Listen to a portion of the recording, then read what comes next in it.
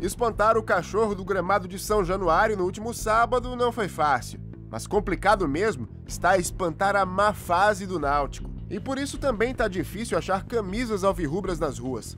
Esporte, Santa Cruz, clubes de fora, mas Náutico não.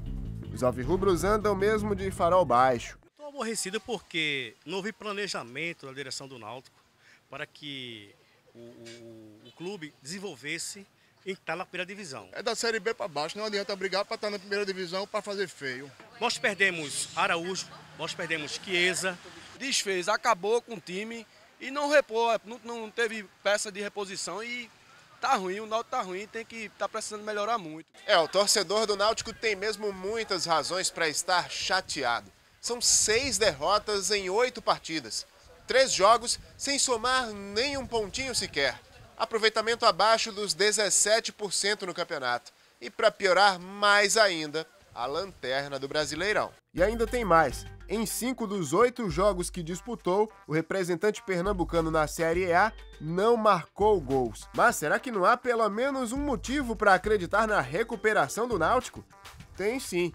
Os jogadores que o clube ainda vai estrear. Só meias são quatro: o venezuelano Ângelo Penha, o argentino Diego Morales e os brasileiros Thiago Real e Maicon Leite, contratado ao Palmeiras. Com esse argumento, líderes do elenco alvirrubro pedem paciência com o técnico Zé Teodoro.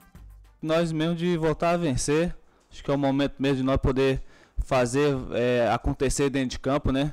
Então acho que o Zé Teodoro está tentando fazer o, o impossível possível para poder ajeitar a equipe, é a melhor forma da equipe jogar.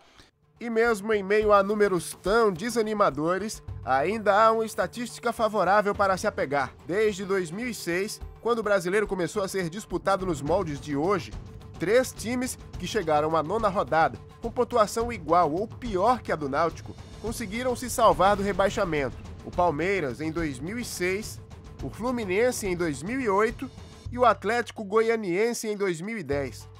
Por isso, os jogadores pedem um crédito à torcida para o jogo contra o Internacional. Não é melhor do que esse jogo em casa, jogo contra uma grande equipe, contra o Internacional. Então, com certeza, uma vitória vai levantar a autoestima de, de todo torcedor e principalmente de nós jogadores também. Então nada melhor do que a gente poder contar com ele agora, né, nesse momento difícil, de todo mundo jogar junto, todo mundo apoiar. E pelo menos alguns milhares desses alvirrubros devem estar na Arena Pernambuco domingo. Aqueles que não veem tempo ruim para usar a camisa do clube de coração. Claro, alvirrubro tem que ser assim até a morte. Perdendo ou ganhando, sempre alvirrubro.